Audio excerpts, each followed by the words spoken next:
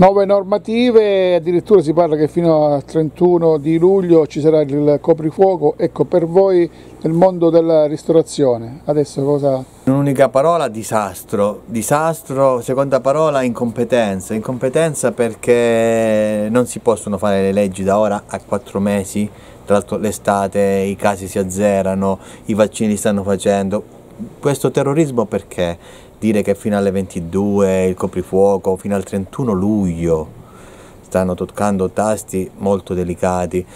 Poi una cosa che vedo io ho 43 anni e purtroppo per uh, questioni di famiglia uh, io è da quando ho 5 anni che sono qui e cerco di dare una mano nel lavoro e so come funziona il commercio, so, uh, sono sempre cresciuto in mezzo a migliaia di persone per il lavoro che faccio e vedo come funziona il mondo. Queste persone giustamente dopo che pagano comitati scientifici fior di milioni, di miliardi e altro, non possono confrontarsi con il popolo e capire le esigenze vere, ma dove mangiamo a fine mese? Cosa facciamo? Migliaia e milioni di persone, cosa fanno? Cioè, sta, state facendo de, delle leggi solo per distruggerci. Veramente conviene chiudere davvero tutti e andarsene perché ogni, ognuno che viene qua spara quello che vuole. E, ehm, a rischio anche i posti di lavoro. Perché, a rischio tutto. Posso perché lei stamattina già sta licenziando alcune persone sì, per la sì, stagione. Sì, io non solo. 31 luglio finisce la stagione per voi non solo ho bloccato lavori, ho bloccato le persone, l'ho licenziate, ma anche io sto facendo dei lavori, ho fermato tutto, basta, cioè ci, ci, stanno, ci stanno bloccando. Poi un'altra cosa, io vivo, io sono parte del popolo e vivo in mezzo al popolo Draghi, stai tranquillo che le persone a luglio dentro casa non le tieni perché mi sa che il tuo popolo, il popolo italiano non lo conosci. Sono persone abituate a viaggiare in aerei privati e in mondi di, di, banche e di miliardi che non sanno cos'è il popolo e le esigenze del popolo, ma le persone no, no, non, si, non, si, tengono così, non siamo mm, animali.